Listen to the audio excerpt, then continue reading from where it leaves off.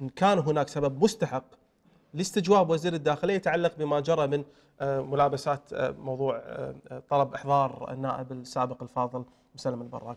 كلامك أن أمر الضبط لو كان متعلقا بنائب في المجلس الحالي أو بمواطن عادي عادي لأرسلت إليه الداخلية عريفا لتطبيق الحكم ولو طلب ورقة رسمية كان صك كف ورك- وركبت دوريه كان من المفترض أن تذهب المدرعات والقوات الخاصة لتنفيذ الحكم إذا تطلب الأمر ذلك.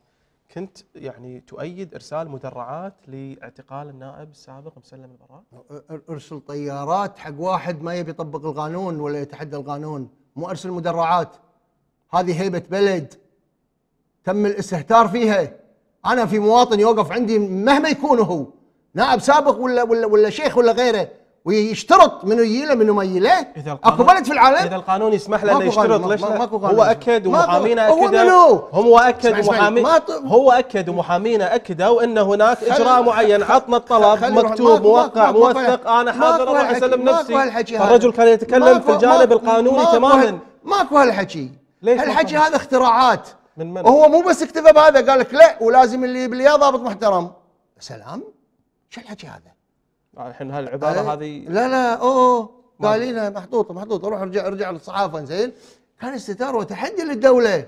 أنت لما توصل تحدي للدولة ما في مجال مجاملة. ما في مجال مجاملة. مع عقبها شو اللي صار. عباس الدشتي عباس الشعبي قام يقول كم الكلام الحكي القانون؟ في النهاية ما يسمح هو لهم قا- شو ما هو؟ قانون إذا هناك خطأ أتحدى إذا هناك خطأ أتحدى- إجرائي إذا كان هناك خطأ إجرائي من قبل وزارة الداخلية وتعسف كان واحد- هناك تعسف من وزارة أتحدى الداخلية واحد يطلع لي ورقه؟ أتحدى واحد يطلع لي ورقة مكتوبة في قانون يقول لازم تسوي الإجراء بالطريقة هذه كلام فاضي عطني حالة ما سابقة امتثلت وزارة الداخلية بعدين جابت له ورقة ماكو لا لا مو صحيح مو صحيح مو صحيح جابت له ورقه ما جابت له ورقه راح للريال قال لهم بعدين مسلم البراك النائب السابق الفاضل أنا قاعد ببيتي هم راحوا واقتحموا وصار هناك نوع من الاقتحام في في المنزل. وأنت قاعد تقول أنا أبي طيارات ومدرعات. لا لا أنا مو مسلم. أنا أي واحد يوقف يتحدى الدولة. ما كان يتحدى ما- يقول أنا موجود ببيتي. لا اليوم. وتغديت وعشيت موجود وإذا بالقرطبة. يجون بترس حلوجكم تراب. زين إذا جتني القوات الخاصة يرجعون لك متروسين تراب. يا رجل الرجل شغ- شغلت شغلته إشاعة الفوضى في البلد.